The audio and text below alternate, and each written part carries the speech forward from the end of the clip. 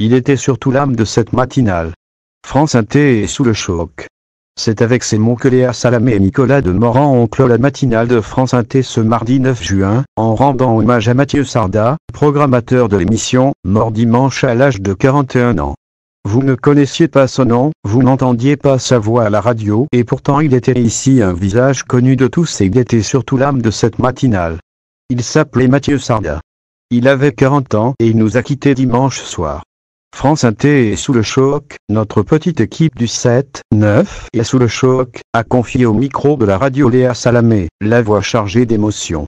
La journaliste tout comme son collègue Nicolas de Morand ont évoqué toute l'amitié qu'ils avaient pour celui qui avait fait ses premiers pas sur France Culture lors d'un stage il y a 20 ans. Avant de travailler à la programmation du 7, 9 de France Inté depuis une dizaine d'années, le succès de la matinale, c'est lui. Le mariage heureux entre des invités politiques, des artistes, des intellectuels, entre l'émotion et la réflexion, c'était lui, ce matin, il n'est plus là, derrière la vitre.